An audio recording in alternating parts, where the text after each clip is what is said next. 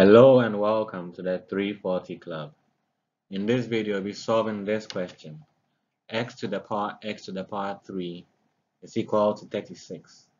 So let's begin. So the first thing we'll do is to, is to square, uh, cube both sides, right? So I'll cube the left hand side and cube the right hand side.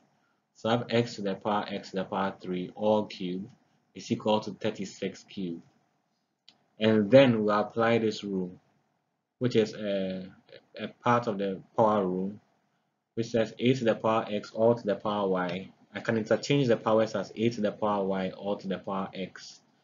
So if we look at the left hand side I have x to the power x cube all cube so I can interchange x cube and then the 3 right? So I can interchange x cube and 3 then the equation looks like this so 3 goes inside, x cubed comes outside.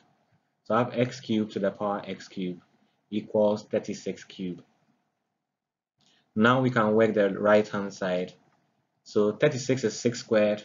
So x cubed to the power x cubed equals 6 squared to the power 3. Now once again I can apply the power rule which says a to the power x to the power y is equal to a to the power x times y. That means I can multiply the powers in a situation like this. So 6 to the power 2 to the power 3 can be written as 6 to the power 6. So I have x cubed to the power x cubed because 6 to the power 6. Simply by inspecting this, we can tell that x cubed is equal to 6.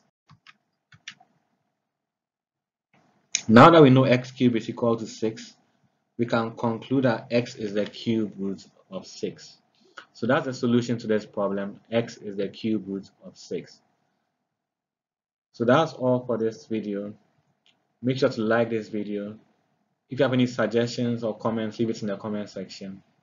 And subscribe if you are new here. Thanks for watching. Bye.